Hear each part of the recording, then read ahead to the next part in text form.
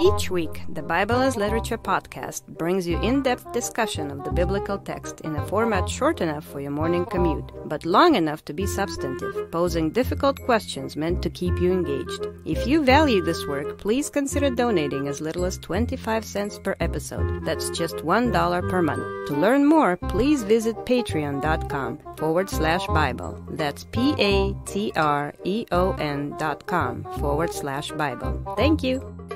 Hi, this is Father Marc Boulos with the Bible as Literature podcast. When we choose an ideological framework, we employ a system of ideas and ideals to bolster our self styled morality. We want so desperately to have power over others that we create a false reality in which we are always right always the victim, always justified, and always able to find the culprit.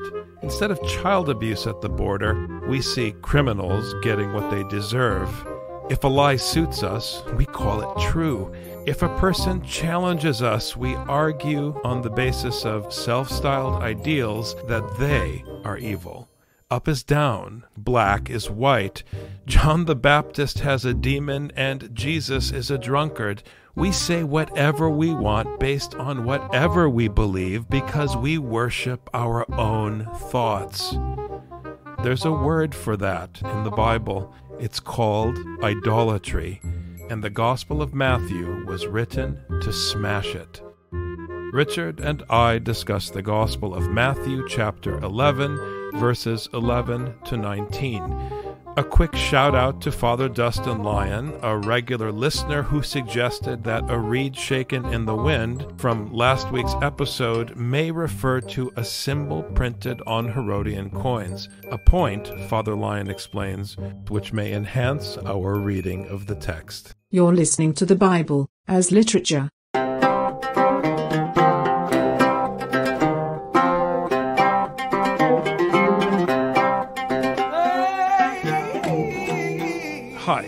This is Father Marc Boulos. And this is Dr. Richard Benton. And you are listening to episode 288 of the Bible as Literature podcast. One of the interesting things about John the Baptist as a character in the New Testament, and here I'd like to go back to our discussion of the Gospel of Mark. John the Baptist functions as a metaphor for the Apostle Paul, and there is language that connects these two characters. There are events that connect these two characters. The fact that John the Baptist was beheaded, which was a dignity reserved for Roman citizens like Paul. But it goes further because in the broader story of the New Testament, there are parallels between Jesus and Paul. And here in Matthew, the language that the evangelist brings to bear on John the Baptist, especially in the application of the prophet Malachi, sounds like he's talking about the Messiah. And remember, Rich, Malachi comes in the canon just before the first book of the New Testament, the Gospel of Matthew. Right. In the Christian canon, Malachi just finished when Matthew started. So there's a way that in the final form of the Bible, you would read this right after Malachi. So it makes sense that you would have that connection. And Malachi is saying that this is my messenger who's coming, who's bringing this word of judgment. And then who's the next person you meet? It's John the Baptist. So you have a connection as you're reading this in the canonical order of the Bible when you move from the Old Testament to the New Testament when you're reading in the Christian canon. And then I think it's beautiful the way that Jesus uses John in order to continue this idea of teaching the people not to believe their eyes. You and I have been going on for a long time talking about how people are not able to question what they see with their eyes. It's amazing. We see terrible things happening in the world, and people are somehow able to not notice them. We see things happening politically. We see things happening in war. And because of an ideology, people can make black white and white black it's really awful how people use their ideologies in order to force a certain view of the world onto those around them. And it's really disgusting to see that this ideology flies in the face of facts. Jesus is co opting this because the same was happening in the Roman Empire. I mean, it's human beings, they're stupid. They take an ideology and they impose it on anything. I was reading recently a so called Bible study, and it was using Hebrew words, and the Hebrew words absolutely could not mean what the author was saying. He was using an ideology from politics in order to create meanings for Hebrew words. I mean, it's disgusting what people do. Jesus is co opting this mechanism, and he's forcing the listener to see things not according to what they see. He's forcing them to reckon with their ideology. And he says, either your ideology or my ideology. They cannot coexist. Jesus' ideology is not abstract, it's what is written in Scripture. If you're going to listen to Jesus Christ, you must follow what is said in Scripture. And you are not allowed to make up meanings of Hebrew words. I mean, for heaven's sake. John the Baptist starts out teaching the message that the kingdom of heaven is at hand when Jesus begins his ministry, he begins with the same words that John the Baptist uses the kingdom of heaven is at hand.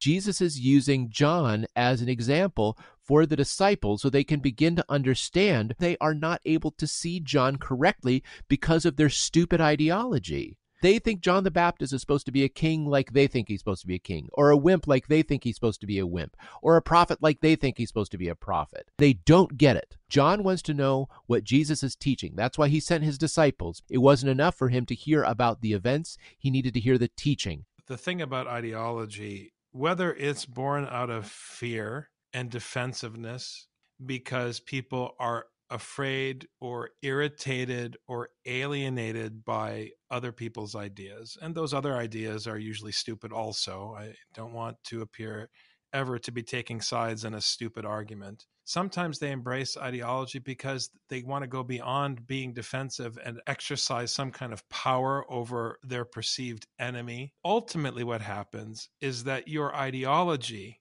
becomes your idol. The language of scripture is idolatry and human beings construct a system of thought and choose to view the world through the lens of that system of thought. And this is what scripture is trying to smash.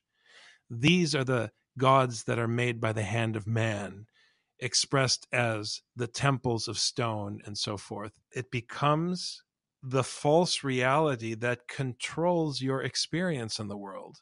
Just this week, a colleague sent me an article from the New Yorker that talked about politicians who are not Jewish accusing Jews who are critical of their policy of being anti Semitic.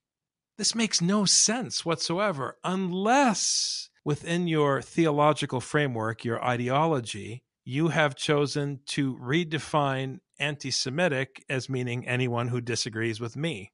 People are throwing mud at each other using these words that are charged with emotion and bring all kinds of historical baggage and they're recontextualizing them in their ideology and none of it makes any sense and all of it is losing meaning and this breakdown in our discourse is dangerous because we've lost the ability to say hey this is immoral. You can't cross this line. People are blind to cruelty. They are blind to vulgarity because they're viewing and experiencing everything through their false idol. The Torah is consistently smashing idols. I think you're absolutely correct, Father. The way that you would say ideology in scriptural terms would be idolatry. It's taking your idea of who or what saves you and fashioning something with your own hands, setting it in front of you, and saying, This is what's going to save me. Calling somebody a racist or calling someone an anti Semite is not smashing idols.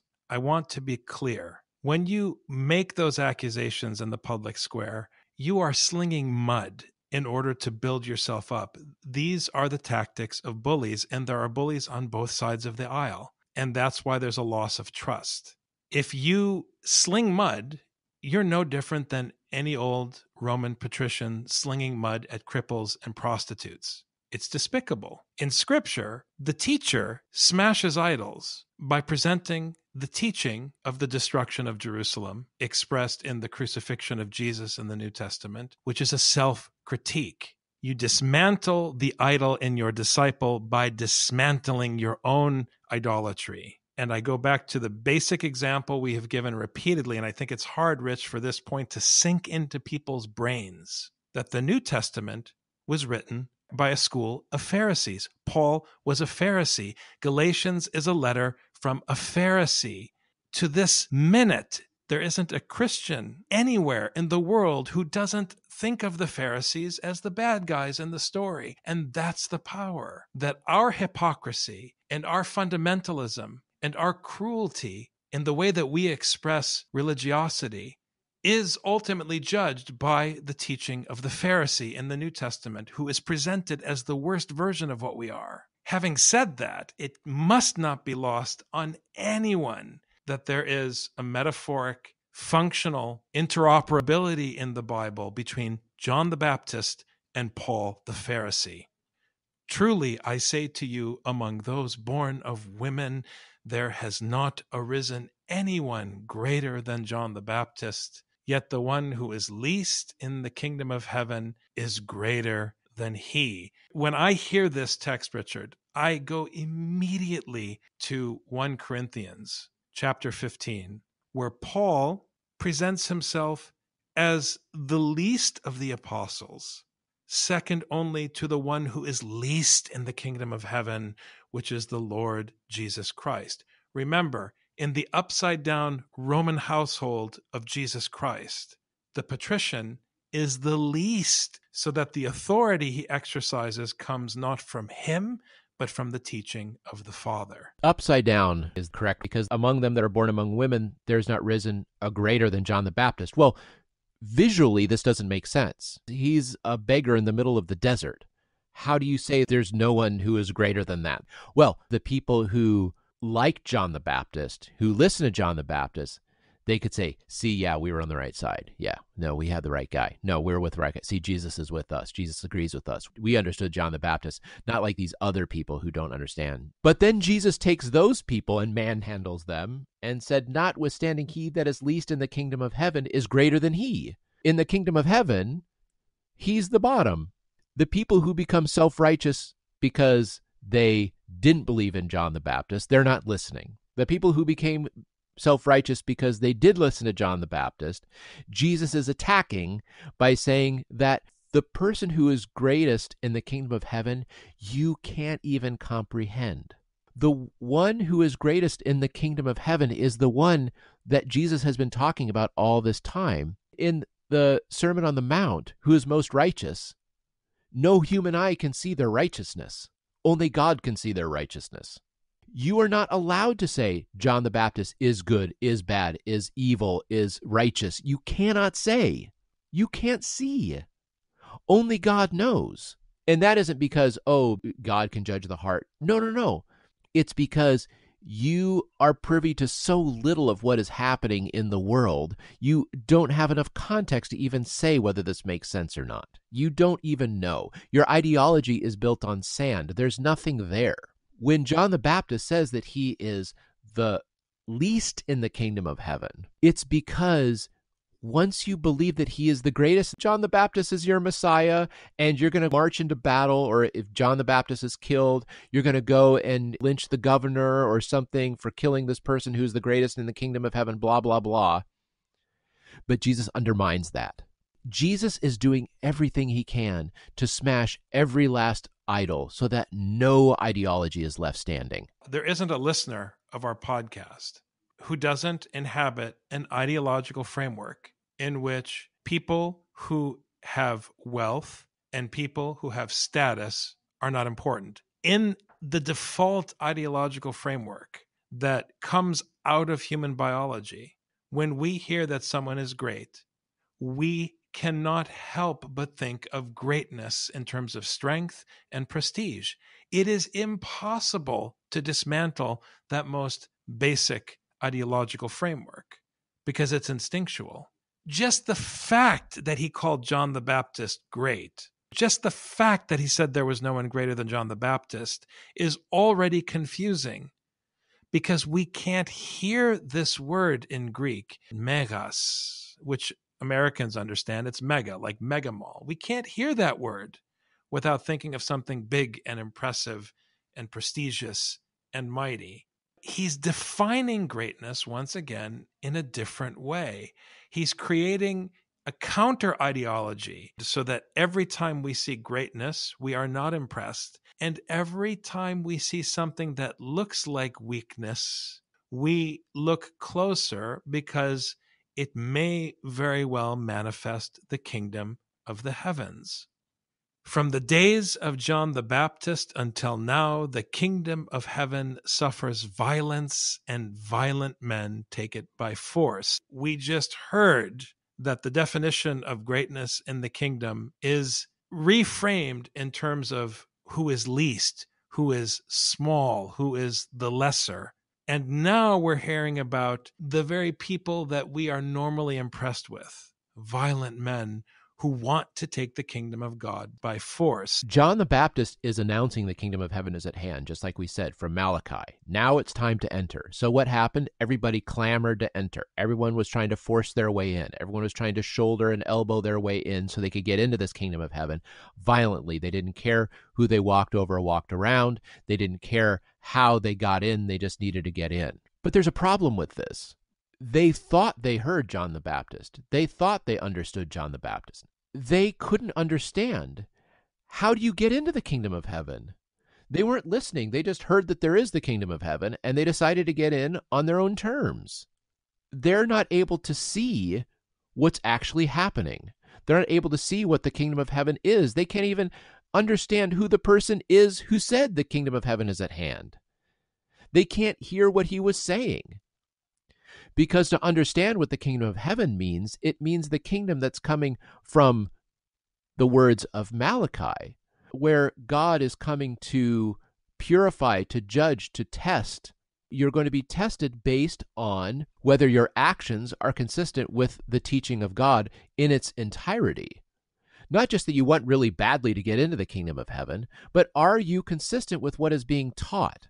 How do you take it by force? Every parable where people are taking the kingdom by force is bad news for them because the kingdom belongs to God. You don't take the kingdom from God unless you're an idolater and you want to put another God in his place. Here's how you take the kingdom by force you create an argument in your mind that justifies you. And on the basis of that argument, you extrapolate that you are justified in your mistreatment of others. And you go further to say that you are doing the right thing when you mistreat them. You ultimately commit all kinds of cruelties and abuse and feel completely self content with what you've done. This is what the banality of evil looks like. Ultimately, the people who commit violence don't understand that they're committing violence. They step on the neck of the weak and applaud themselves as though somehow they're defending the faith or defending what's right or defending the law. It's self righteousness. To take the kingdom by force is to take God's law, given as a mechanism of our weakness, and to turn it into our strength. That is what ideology is. That is why, if you think you can do the law correctly, the law can't save you. It won't work go back to the basics of the New Testament to understand what Matthew is saying. You can't will yourself into the kingdom. You can't force it. You have to accept defeat, not claim victory. For all the prophets and the law prophesied until John. And if you are willing to accept it, John himself is Elijah who was to come. All the prophets in the law have been prophesying up until John. so everyone is so excited that John said XYZ when A, B, C, D, E, F, G, H, H, A were all said before John the Baptist. What about that? Just like you were saying, Father, you know, people have this ideology that it's okay to lock up people in cages, or, you know, people have an ideology that we must save the people in cages. Either way, they're incorrect because they're following their own conscience. They're following their own idea. They're following their own ideology. They're following their own idol. There's only one ideology that matters. There's only one God who matters. There's only one teaching who matters. And that is what was prophesied in the law and the prophets until John. Everyone wants to grab the kingdom of heaven, but no one wants to listen to the law and do it. When I was teaching Hebrew in Ukraine, I was sad because after the first week, half the class had dropped. And I was apologizing to the department chair. And the department chair tisked at me people have a dream to know Hebrew, but nobody wants to study Hebrew. Everybody wants to be in the kingdom of heaven, but no one wants to live under the law of the kingdom of heaven. This is the problem. So Jesus is contrasting those who think, I'm going to grab this kingdom of heaven the way that I want to grab it because I'm following John the Baptist, or I'm following so and so, or I'm doing this. When Jesus says, You just do what's been in the law and the prophets all this time. If you're willing to hear it, John the Baptist is Elijah. Elijah was the one who was taken up into the heavens, and we didn't know what happened to him after that. He went into the heavens. He was the prophet who disappeared. The word went to the heavens. Are you willing to receive this teaching from the heavens that John the Baptist is teaching? Well, then you're going to be receiving the teaching of Elijah. And what was the teaching of Elijah? That everybody around him was worshiping Baal. That's what Elijah was teaching. So, if you're going to understand what John the Baptist taught when he said kingdom of heaven, then you got to go back to Genesis 1 1 and read to figure out what that kingdom is. Don't just grab it because it sounds nice. For heaven's sake, that's idolatry. Verse 13, 14, and 15 read as follows Verse 13, you've been hearing what scripture says. Verse 14, if you're willing to accept it, you'll understand what it says. And verse 15, he who has ears to hear, let him hear. In other words, if you have ears, you're held accountable. There's no escaping it. If you have ears that are operational, that means you've been hearing what's been prophesied until John. So if you don't accept it, you're refusing to hear. There's no excuse. But to what shall I compare this generation? It is like children sitting in the marketplaces who call out to other children and say, We played the flute for you, and you did not dance. We sang a dirge, and you did not mourn. For John came neither eating nor drinking, and they say, He has a demon. The Son of Man came eating and drinking, and they say, Behold, a gluttonous man and a drunkard, a friend of tax collectors and sinners, yet wisdom is vindicated by her deeds. We've heard all along in this section how our judgment is impaired. What did we go out into the wilderness to see when we're called to hear in verse 15? What was it we were going to see? And since we're not going to hear and our vision is impaired, we are condemned. And now Jesus in Matthew is comparing us to children sitting around in the marketplace trying to manipulate the situation, who, when John comes, bring this false accusation that he has a demon, even though he's fasting. And when Jesus comes, eating and drinking, they accuse him of being gluttonous. So no matter what they see, because they're looking at it through the lens of their ideology, they're going to come to the same conclusion that the one sent from God is wicked. This is exactly what's happening in the public square in the United States. It doesn't matter what people see, they only see the darkness that is already in them. The eye is the lamp of the body. If you are controlled by ideology, you'll see a man who starves himself in the wilderness for the cause of God's teaching and accuse him of being demonic. And you'll see a man who eats and drinks with sinners and you'll accuse him of being a drunkard and gluttonous because you hate tax collectors and sinners.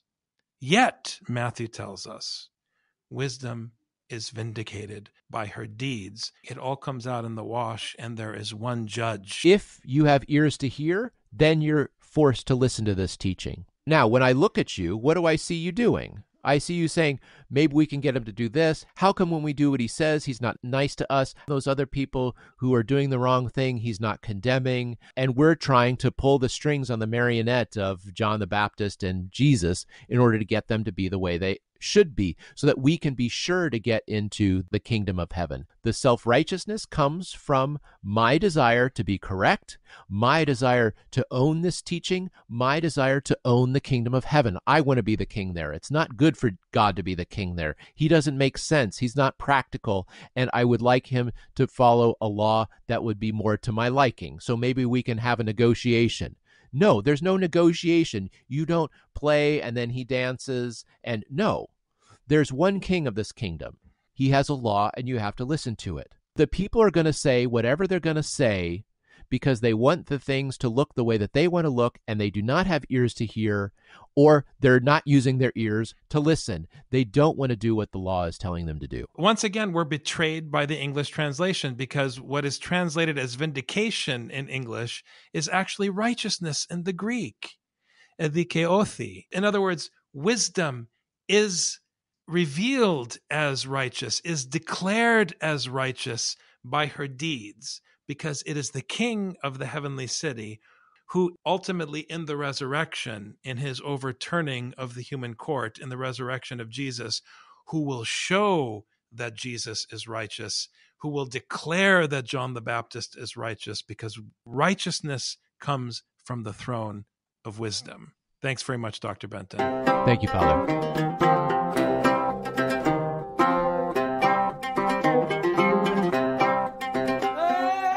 Heard the Bible as literature. Thanks for listening. The Bible as Literature is a production of the Ephesus School Network.